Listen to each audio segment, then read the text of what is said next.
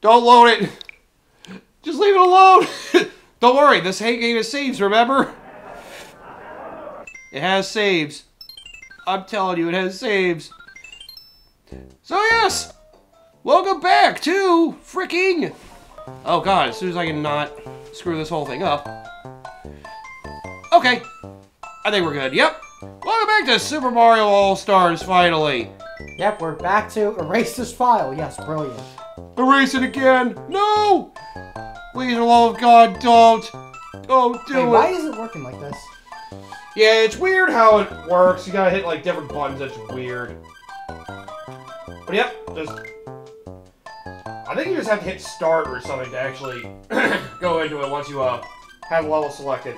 Well, you can see we're on my Switch now. Cause the other one got save stated back to uh. also, um, the thing is also my eh, uh, what you call it subscription expired as well. So even if I did at the same, oh shit! I wouldn't be able to do anything. I see. Basically, going to eventually join with a friend on that front to actually have, in addition to hopefully the NES and SNES stuffs, finally maybe do the you said duty. ah! I Yeah, for a didn't moment, mean to kill MJ. I'm sorry. Oh, I'm sorry. Please don't hurt me. What's that? Hurt you more? Doria? Got it. No, wait! Doria? God damn it. But yep, Lost Levels has finally returned. At least for us, it feels like it's been a while since we last played this. God damn you, Lost Levels. Just remembering you. It's also weird sometimes Koopa Shells flip upside down. I remember the red piranha plants, I only stop coming up here above them. Ugh. Nice reminder of the torture we've been through. Invisible blocks and dickish enemies all put together in one of the most painful but lovable Mario experiences. How do you love this? I find my ways. Now what's worse, this or X7? Hmm. That is a good question. Or by some people's logic, this or Mega Man and Bass? I would take Mega Man Bass over this. Same here. Because at least that game is forgiving. And we're playing the All-Stars version. At least it's not the NES version. Playing the whole game eight times, with continues only working for the beginning of the world, and not just the beginning of the level. But either way, it's painful all the same. As long as we don't use a warp, we're good. God, I hope we'll be fine. But yep, it's felt like an interesting year for Mario this year. Yeah, Well, maybe. the last major thing that Mario's got on his sleeve is the remake. Oh, Thousand Year Door, you mean? Yeah. What?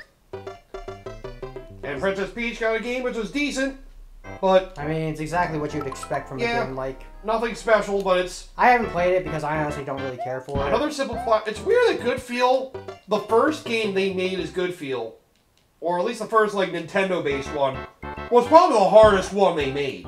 And every game since has been really easy, like difficulty-wise. The first Nintendo game they did was uh, Wario Land Shake It, which is surprisingly difficult. Isn't that the Wii one? Yup. It's one of the hand-drawn animations. I will still say it's a damn good Wario game. I haven't played it in a very long time because I tried to find all the secrets in some of the levels. I realized there are unlockable stages that were even harder than the main game stages. I was just like, oh god, I struggle with the main game as it is. like, yeah, if you're good, it feels very. It seems like somebody, if you're good at the Wario Land series, you would enjoy Wario Land Shake I think it enhances on a lot of what Wario Land 4 did.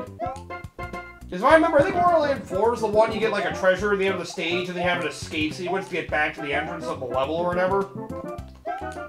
I think all of Wario Land Shake stages are like that. Hmm.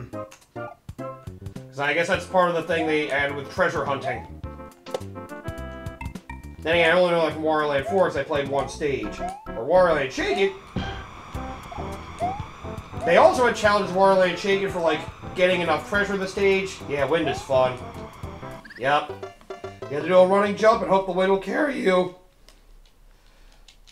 Have to go one of the lower steps and try to jump the top one and just run from there, probably. Yeah, I'm just trying to figure out what the placement is. to We're back to remembering how Mario's physics works, and they're rough in the olden days.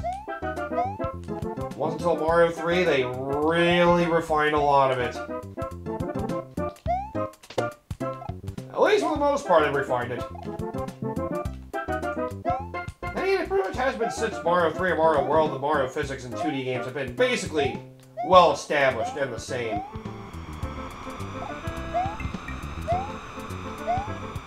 Oh!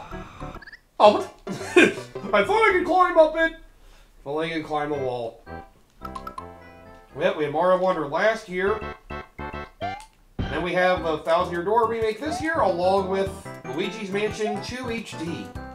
I'd be excited for that, but I already, uh, I already played Luigi's Mansion 2, so I don't have the motivation to replay a I game. I keep forgetting there's another project we technically do, Luigi's Mansion 1, because I do have the GameCube version. I'll just spoil, like, I'm not the biggest fan of Luigi's Mansion like everybody else. I get it, it's a very short... I like it, but it's definitely not the kind of game I'd see myself replaying. Yeah, yeah. 3 is probably the best one, because it Yeah. mixes elements of 1 and 2 in there. It had a lot more enemy variety and, like, bosses like 2 did. But it goes back to, like, a single mansion expert Like, I do whole like, thing. I played all three of them, but it's just like, I don't know, I like the games, but I don't love them like some people do. Yeah, I get it. So yeah. like, eh. One is short and sweet. If you haven't played one, it's a nice, it's a nice, pleasurable trip to go through. I played all three of them, so Yeah. I have, Yeah, yeah, you have the 3DS version, right? yep. So you have to deal with Luigi in that one. I never seen Luigi to be honest. Uh, maybe that's the co-op multiplayer. I'm gonna say I think that's the co-op. That's right. It's a special. I still find it so weird. They put that in the 3DS remake, or 3DS port, I guess, of Luigi's Mansion 1, to tease a concept that was going to be used in 3. And now it has me wondering what Next Level Games is doing next. Again. Because they went back to their striker stomping grounds. with mixed results. Yeah. The Well, core game seems fine. It's just Nintendo's evolving else the way they want to do all their sports games lately. All their Switch ones have had content basically set aside for the future because we gotta keep players invested to come back later. Even though the core game should be enough to do that. yeah. I'm about to say like if your core game isn't good at the beginning, I will I will say at least of all those that they did, Super, Golf Super Rush was probably the best executed of the three. yeah. Yeah, the three. Oh, that jump's gonna be brutal. And this one. Right, I forgot the stage is long. Invisible blocks to find again. So I'm probably gonna go on top of that one and find another. Yep, you typically want to jump on the edge of one, just hopefully find another if you need to climb a high wall. Fun! Aren't freaking invisible blocks great? Honestly, that's like the biggest thing about this game that I really hate is just the the overuse of the invisible blocks. Oh, I think I think that's the most. Otherwise, honestly, I like. Honestly, I don't think this game is terrible. It's just the invisible blocks are just That that the worst part. I think that is the most hated concept of this. It's just like, it's the thing. It's basically it seems like an impassable thing with no hints as to where you have to jump to make the jump actually possible. Although the backwards warps can be dicks too. yeah, redoing stages, that's not the worst thing, especially as the game's still relatively short. It's just, it doesn't feel short. Yeah, it's just this You're game- always dying. To redo these stages because we keep dying. Because we love to hurt ourselves. Ugh. At least this game doesn't have fucking auto runner concepts. Yeah. Now, yeah, not many platformers did that back in the day with like auto running things. I mean, the auto running thing wasn't really a super big thing. Maybe in the arcades, I guess you could say, because you know. Oh yeah, I guess. They're basically meant to throw you in obstacles you had to base react to, and that was almost really way through that. you basically had to react to things on like a split second notice. Yeah. They made it super hard, so you had to drain all your fucking quarters. Microtransactions before microtransactions. Just playing the game's a microtransaction. Fuck! At least, thankfully, modern renditions of those games, if they keep that whole life and quarter system, they basically just have a button that's like, here, give yourself more quarters. thankfully, modern ports of arcade games have been very gracious at that. Oh! There's probably a warp up there, but we're not trying to take those. Because remember, there's a world we won't be able to visit if we take any warps at all. Yep. Let's just keep going. Because this game's an asshole. So how many levels are there again? It's the eight, and then there's four more after this, or six more. Well, it's four regularly. If you don't use any warps, there's an extra one in there. So it's five? it would be five, yes. Oh boy. Oh. Yep, we have these that as soon as you step on them, they move. And you may have to follow them throughout a bit of the stage. Oh, this game does come up with interesting concepts. trying to think one of the first platformers that did like an auto runner thing. I mean, I can't think of many successful ones. I was gonna say Sonic, but that's more you just fling along and run on high speed. Yeah, that's more of a momentum. That's not really thing. like something that's like forcing you to run. And you basically just have to jump or duck to avoid things. I don't think any of the early Mega Man games did it.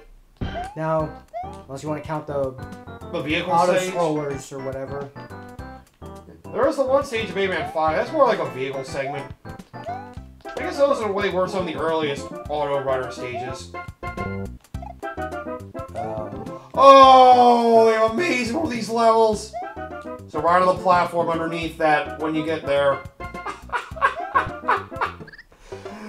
amazing, a fucking non-Bowser stage. I forgot about this one. oh, this game's so mean. Why, Nintendo? Why?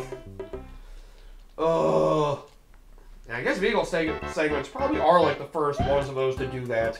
They just take you for a ride. You just have to jump and react to things.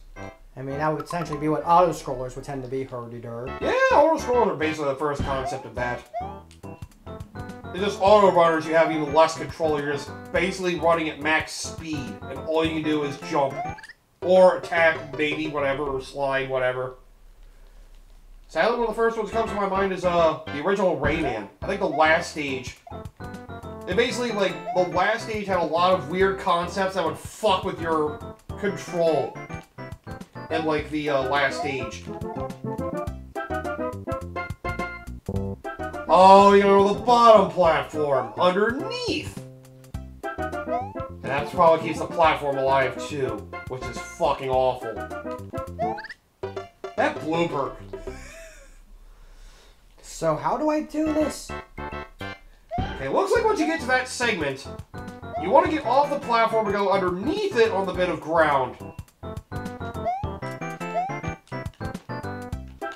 Yeah, you want to go down there.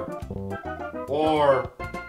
Oh, wait, there might be a warp pipe you have to enter. It loops. That's what it is. This place loops. You might have to find a warp pipe to get into, like that one. That's what it is. That's right. I was trying. I thought this. I thought this came up in uh, World Eight, but nope. This is the first of these stages. Basically, you're going an endless loop until you find a warp out of here, or a warp pipe to get you out. So yeah, okay. You want to jump there, then use the Koopas to get up there. You just have to time your jumps off them so you actually get a high jump. Yeah, I'm pretty sure that's the right pipe because none of the others, I think. One might lead you to another like bonus area, but I think it would lead you back here anyway. Now just go in, go to the bonus area, and you should be able to get to the end of the stage. I know World 8 has a stage similar like this. Except it actually has a warp pipe at the end that takes you back to earlier in the stage. So now you're in the next segment. I don't think there's another one of those you have to do in this stage. Now it's a regular stage after that, but yep. Be on the lookout for that shit. Oh. Dick. Well, you want to test your platforming mind in a Mario game? You've certainly got it. I love it. I love Mario games. I love platformers that take away your control and make you move in different ways. Such as making you move left instead of right. At least I feel like I have a reason to actually want to try and get better than something like Sticker Star. Heyo. Actively playing your game feels like a waste of fucking time. Just get all the money you can to buy all the stickers. That's not fun. Especially since all the stickers you get are shittier than the ones that you get in the... Uh, I'm so glad Color Splash did a quantity-based freaking inventory system and not an RE4 inventory system. That is based on how many cards you have, not how much space you can fit. I mean, Oh. it's not like it, it's not like you can get a dead game in that game apparently, but even then,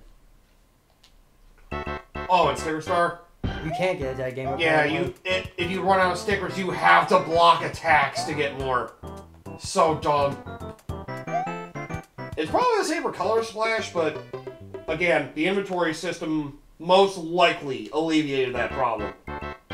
But even then, it's like congratulations, you're fighting to get money to buy stickers that are probably shittier than all the things that you get in the field. So what the fuck's the point in fighting at all? But you can also buy things, so you, you can also buy those things had you originally found them, so you don't have to go out in the field to get them.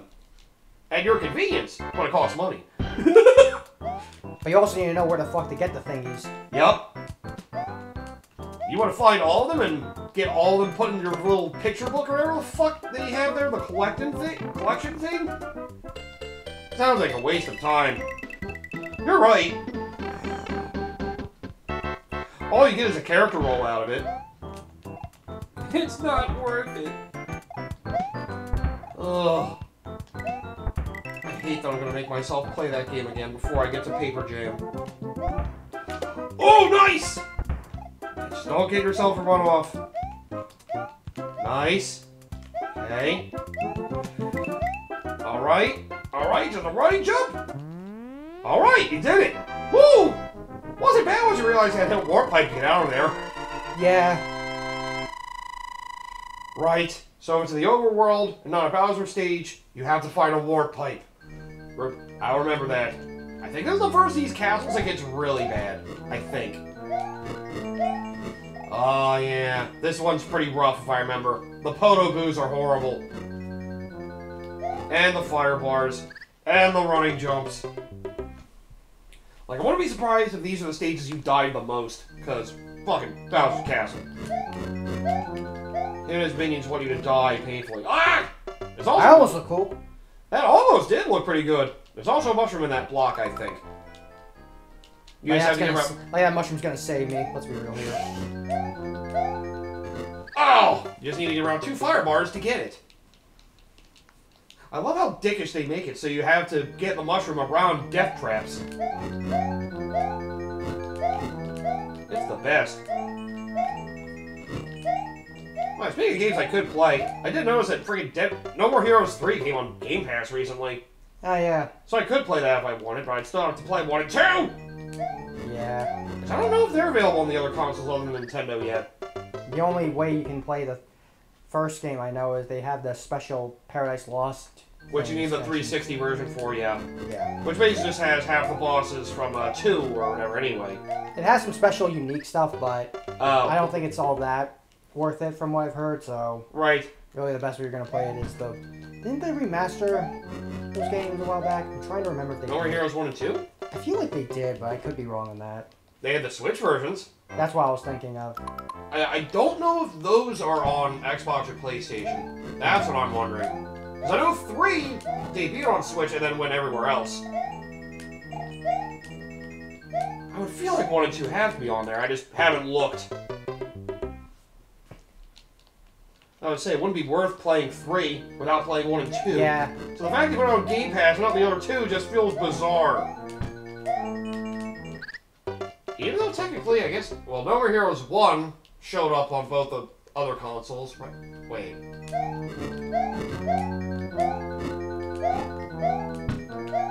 The special version of 1 was on Xbox.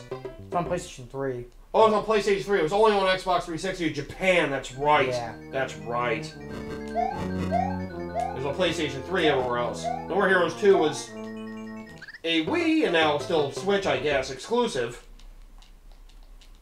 No More Heroes is a weird game series. Yeah, it's interesting though.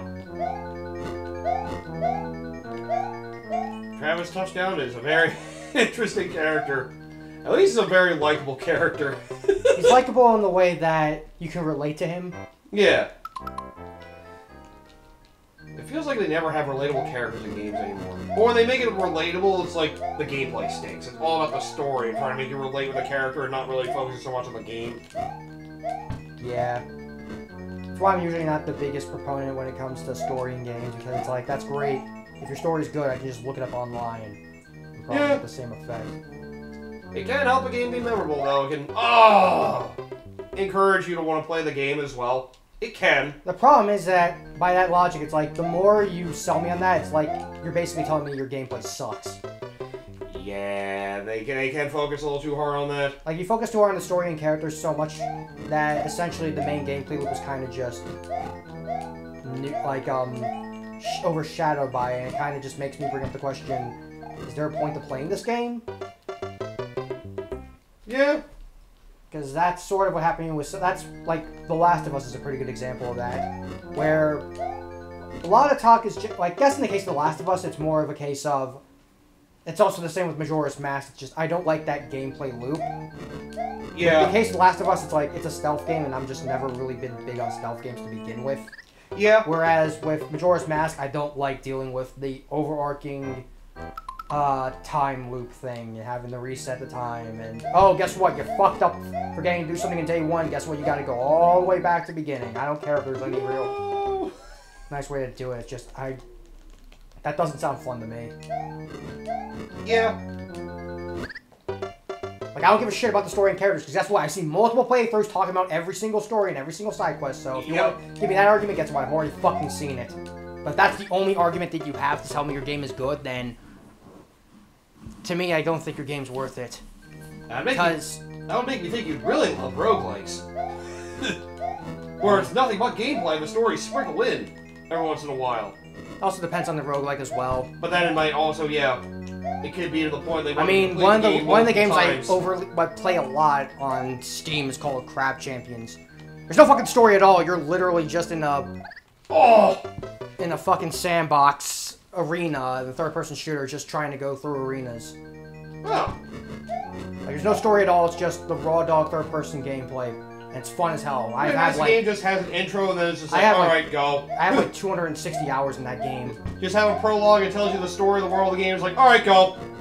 There's not even that. Oh, It's just alright. like oh, just, no- just you're dropped in the world. It's like, alright, let me. no, like there's no story. It's just you're a fucking crab trying to right. get uh just basically beat the game. It's like go, let's go. Like, Well, alright. it's, it's nice that there are games that their stories can basically be so simple. It's literally just, it's literally just the gameplay is the story.